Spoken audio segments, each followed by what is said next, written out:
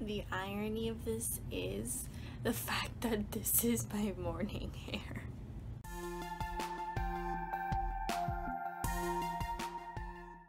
Girls don't even stay.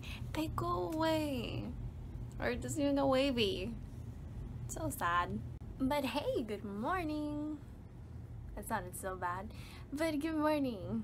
I say good morning or good evening or wherever you are, good night. this is my first attempt at trying I'm sorry because my hair is kind of like my little comfort blankie here. This is kind of my first time trying to do I guess what you call like a vlog or something. Something like that. I am not too confident about it. But I know a lot of people are actually requesting it. I don't know why.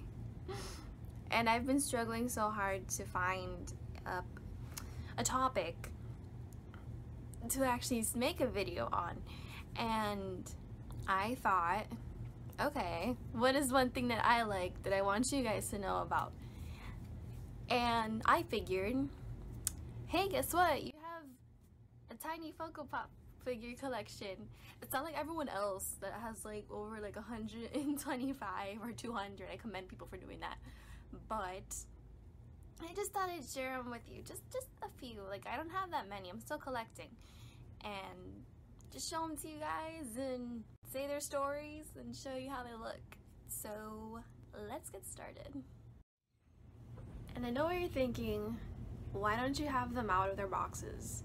The reason I don't have them out of their boxes is because of the fact that I know one day if I if I have to like get rid of them, I know I can get rid of them confidently because they're still in their original boxes. Wow, original boxes. Anyways, I do take them out though to dust them every now and then, which I guess sounds weird. So first off, I got Bambi. Bambi was actually the first Funko Pop figure that I personally bought. Because at first I wasn't into Funko Pop figures, but then I, I went to Barnes & Noble, I saw it, and I thought this was the cutest little Funko Pop figure ever. Like, it's so cute. Second one, I just noticed my hair just went back to normal. But the second one is the one and only Albus Dumbledore. Whoops! I know you're thinking he looks a little bit different from the other Dumbledore Funko Pop figure. But this one actually calls out to me a little bit more because I actually like the pink colors and the little stars if you can kind of see them. I think it's cute. I love the detail that goes into these. I bought this one as well from Barnes & Noble. I actually buy most of them from Barnes & Noble. Not all my Funko Pop figures are from Barnes & Noble, but I'll be explaining them a little bit later on. But yes, cutest ever. I should have had like a Harry Potter theme song for this. Like he comes in and I hear like dun dun dun dun. Like could have been perfect. but yeah, that's Albus Dumbledore for you. Now, these next three, actually, I bought them in like a big haul, also from Barnes & Noble.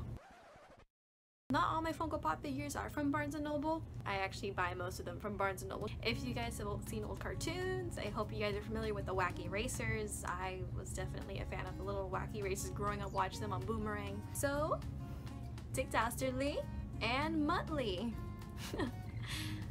I honestly love the colors. I love the little like the little detailing. I enjoy all of it. Like I love, like the color scheme is so on point.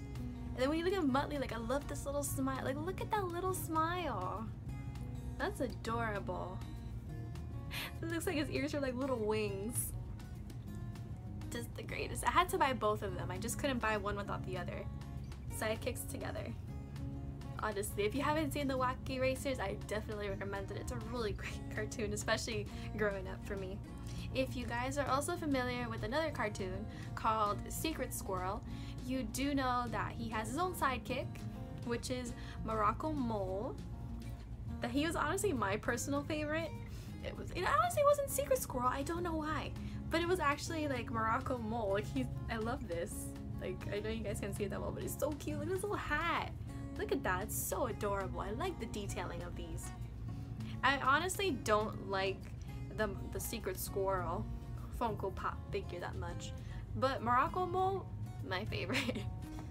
now, if... Oh, baby, almost broke. Almost broke that.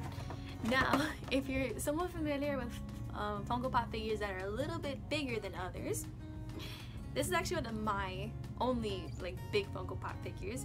If you're not familiar with the film, the original, not the new one, here we go. It's Elliott from Pete's Dragon. Look how happy he is. Look at that little smile. I love it. Honestly, I got I bought this one from Hot Topic. Though the funny story is on that one. Elliott was at the highest, like the top shelf, and the employee had was a little scared to go up and get it, and I felt so bad. But she, but hopefully like I made sure she didn't fall or anything, and she actually got the the Funko Pop figure for me, and I was so happy. Like I was screaming like a little girl on Christmas Day. Like honestly, he's one of my biggest Funko Pop figures, and I love him so much. Just the colors and the hair, even like the different coloration and the little spikes too. It's, it's the greatest. Just, this is honestly one of my personal favorites, besides the big haul of the three other Funko Pop figures that you saw. But yeah, this is Elliott, Pete's Dragon. If you haven't seen the original, recommend that one too. It's a really great movie too. Now, if you guys aren't familiar with a, a certain animal movie that came out, it is called The Secret Life of Pets. And basically, it was a movie about what your pets do when you're not around. In this case, my favorite character, and P.S. I'm a cat lady, so this is really obvious, it's Chloe. Look at the little stripes on the tail. The reason I liked Chloe was because I enjoyed her, not, I wouldn't say her sarcasm too much, but I just love the colors, her facial expressions, the way that she actually really the, person's voice really embodied a cat and if, what a cat would say if it could actually talk. So yeah, Chloe. I love the little purple. I like how they put like the little eyebrows into detail as well. Like I just, I adore this so much.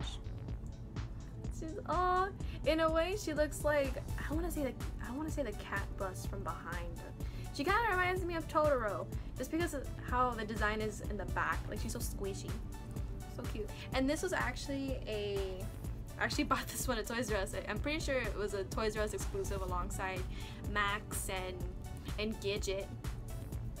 I tried putting Chloe back in the box and the little plastic almost tried to cut me. That's the struggle sometimes with Funko Pop figures. Once you take them out of the box, the struggle is having to put them back inside the little plastic and then put them back into the box and hopefully the box doesn't try to cut you. Like, these boxes are crazy. And now we near the end of this Funko Pop collection with my personal, personal, like extremely, I don't keep saying that they're all my personal favorites, but this one is just like hands down personal favorite of all time because it is my favorite Disney character. The other one's not really too much my favorite, but this one is my favorite. Originally, the story is that at first I complained so much about the fact that Funko Pop, they didn't make this certain Disney character. They made everyone else, but this certain one that is like my all-time favorite character. And these Funko Pop figures just came out and, and everything, and I squealed like a little piggy. I swear I was all like, Ee! Had to like, I ran to that store and I bought them. Like, I saw it, I bought it. They get the glass, then you have the little Funko popping up, and they're like screaming like a little girl. And I saw it from like a, like a distance. I was like, I need to go get that.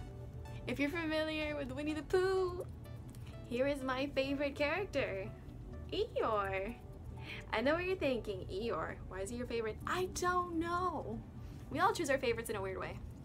But Eeyore is my my favorite Disney character of all time. I, mean, I even used to wear a sweater in high school that had Eeyore and I didn't care. Like Eeyore, this is my baby, this is my pride and joy, besides my cat. But look at that. Look at him. He's so cute. Look at that. Even his little tail and the little nail. Fun fact, he is actually made, he actually has sand stuffed in him. It's not cotton like everyone else. It's sand, like it's sand or sawdust, something like that. But look at that. Look at this.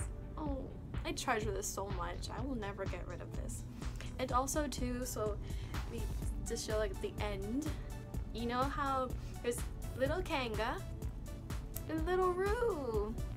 Look at little Roo. Look how look at those little cheeks. Oh, look how squishy you look. Oh, you're so cute. Look at that. And his little tail. He looks like a mouse. But this is little Roo. He's a little baby kangaroo. But yes, I am ecstatic. I was so happy I saw them in the window. I like if, if I had footage of me screaming like a little piggy, you would die laughing and I would show you. And that is my Funko Pop figure collection. I hope you enjoyed it just as much as I did because unboxing them and then reboxing them is like the best feeling in the world, especially when I get to hold them because they're so cute. But yes. But I want you guys to let me know what Funko Pop do you think is your favorite. I also want to know if you guys own any Funko Pop figures.